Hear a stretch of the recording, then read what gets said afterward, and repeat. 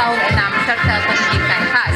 Adik Muhammad Umar Budin bin Murad yang merupakan ketua kontijen dan pembawa bendera untuk rumah sukan ini.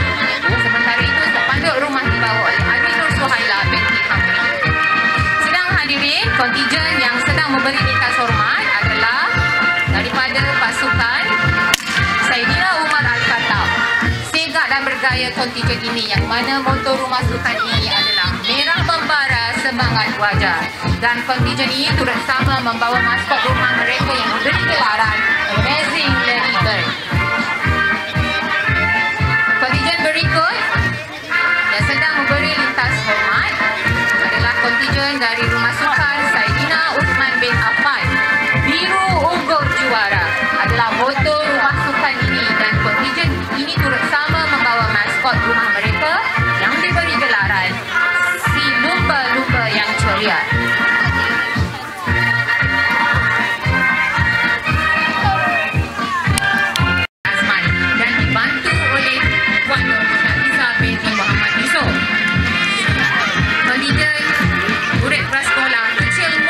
murid-muridnya namun yang pastinya semangat kesukanan yang dipamerkan oleh mereka memang mengagumkan.